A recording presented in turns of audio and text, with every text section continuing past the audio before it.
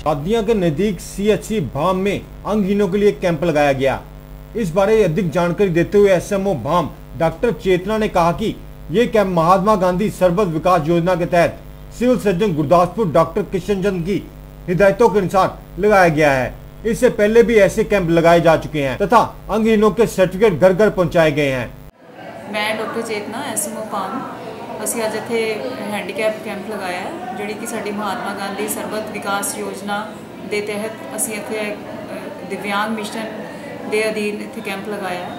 ਤੇ ਸਾਡੇ ਲੋਕਲ ਜਿਹੜੇ ਐਮਐਲਏ ਸਾਹਿਬ ਹੈ ਮਿਸਟਰ ਲਾਡੀ, ਉਹ ਵੀ ਇੱਥੇ ਆ ਰਹੇ ਨੇ। ਉਹਨੇ ਥੋੜੀ ਦੇਰ ਤੱਕ ਹੀ ਪਹੁੰਚ ਰਹੇ ਨੇ।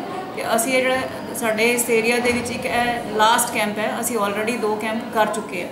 ਤੇ ਜਿਹੜੇ ਜਿੰਨੇ ਵੀ ਅਸੀਂ ਸਰਟੀਫਿਕੇਟ ਬਣਾਏ ਆ ਉਹ ਅਸੀਂ ਸਾਰੇ ਲੋਕਾਂ ਨੂੰ ਘਰ ਘਰ ਆਸ਼ਾ ਵਰਕਰ ਦੇ ਥਰੂ ਵੰਡ ਵੀ ਚੁੱਕੇ ਆ ਬਾਕੀ ਜਿਹੜੇ ਹੁਣ ਜਿਹੜੇ ਕੁਝ ਲੋਕੀ ਰਹਿ ਗਏ ਆ ਉਹਨਾਂ ਦੇ ਕੈਂਪ ਅਸੀਂ, ਉਹਨਾਂ ਦੇ ਜਿਹੜੇ ਸਰਟੀਫਿਕੇਟ ਆ, ਉਹ ਅਸੀਂ ਇਸ ਕੈਂਪ ਦੇ ਵਿੱਚ ਬਣਾ ਰਹੇ ਹਾਂ। ਤੇ ਅਸੀਂ ਪੂਰੀ ਕੋਸ਼ਿਸ਼ ਕਰਾਂਗੇ ਕਿ ਸਾਡੇ ਏਰੀਆ ਦੇ ਵਿੱਚ ਕੋਈ ਵੀ ਇਸ ਤਰ੍ਹਾਂ ਦਾ ਜਿਹੜਾ ਡਿਸੇਬਲ ਜਿਹੜਾ ਕੋਈ ਪੇਸ਼ੈਂਟ ਹੈ, ਉਹ ਸਫਰ ਨਾ ਕਰੇ, ਉਹ ਇਸ ਵਜੋਂ ਨਾ ਰਹਿ ਜਾਏ ਕਿ ਉਹਦਾ ਹੈਂਡੀਕੈਪ ਸਰਟੀਫਿਕੇਟ ਨਹੀਂ ਬਣਿਆ। ਤੇ ਅਸੀਂ ਪੂਰੀ, ਆਪਣੀ ਪੂਰੀ ਕੋਸ਼ਿਸ਼ ਕੀਤੀ ਹੈ।